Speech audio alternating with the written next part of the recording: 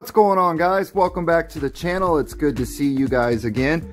So I'm back with another, whoa, I'm back with another small update. Last video we put that up right there, that RGB thing that you can see over there blinking. Um, the video before that we installed the exit sign and the blue lights and stuff. We're still working on it.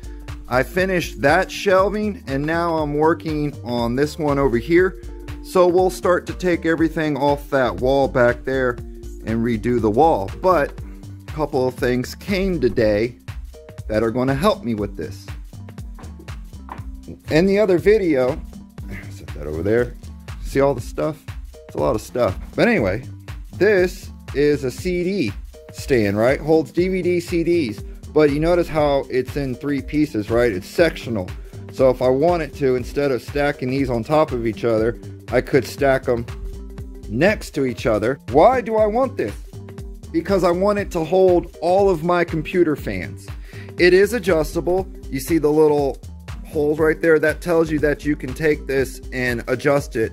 Make the shelf shorter, taller, whatever you want. So that way I can accommodate 120, 200 millimeters, even all the way down to maybe like a 40 millimeter fan or something. But the, the point is, is that I'll be able to hold all of my fans in one place. Uh, one of those, one of those filled with computer fans. It's ridiculous, guys. I am not joking. Then check this out. Look what else that came today.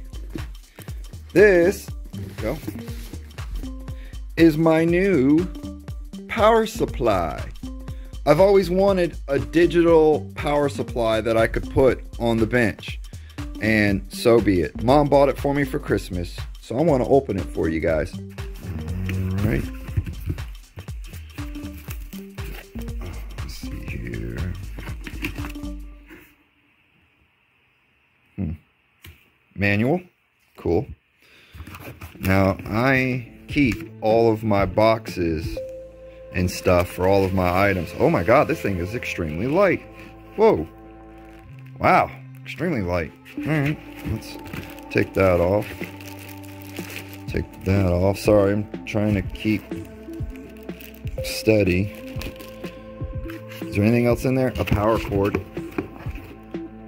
Oh, a power cord and some banana plugs that terminate to some alligator clips. That's cool. Good to have. Banana plugs terminate to alligator clips. Good to know. All right, let's uh, let's take a look at this. Anybody want to come over and uh, help me with this mess? Hmm? I'll build you a computer if you want to come over and help me. Oh yeah, everybody be over here then, wouldn't you? Ooh, this thing is real nice. Check that out. Uh, I mean, it, it was just, it's a lot of stuff that I accumulated over the years. So it just plugs in through the back. It has little feet. It's very well ventilated, which is, that's good. It needs to be. And let's see here. Current, volt, input power. I guess that's where you put your plugs at. There's the on off button. All right, cool. Let's plug it in real quick. All right, I got it plugged in here.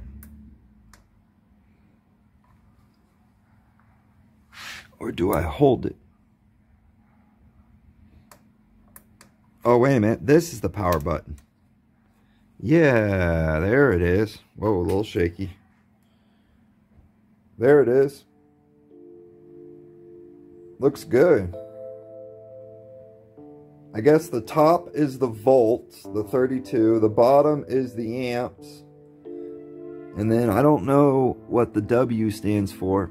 I'm honestly kind of new to, to electricity. I don't really know too terribly much about them. Output, I don't know what that is. That little red button. I'll have to read the manual and understand it a little bit better. But it looks great. I'm really happy on how small it is and lightweight it's going to look good. Yeah, it's going to look real good. All right, so I got the first shelf thing built. And I'm going to start putting fans on it.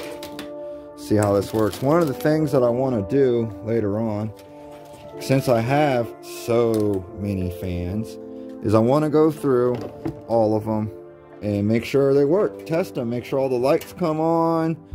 Uh, you know, make sure that they're not like unbalanced.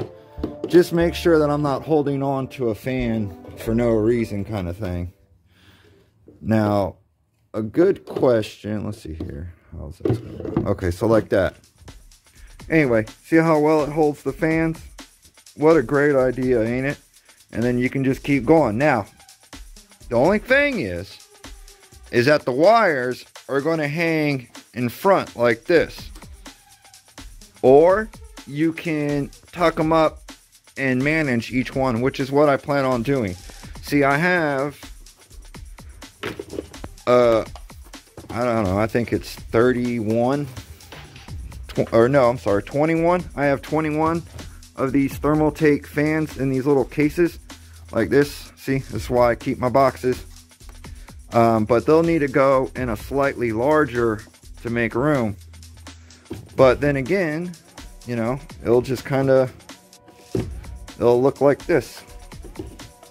See? See how well it, it looks good, right? It's going to be nice. So I'll have these maybe on the wall or maybe sitting on the bench because if you can see, look how big this table is going to be. The also reason why it's going to be so big and so large underneath here is because we're going to put computer cases in underneath the shelves, kind of like how all this stuff's underneath here, but the computer cases are going to go there. But anyway, yeah, great idea. Love it. Thank you for watching, guys. I appreciate y'all. You guys be cool, and I will give y'all another update as soon as possible.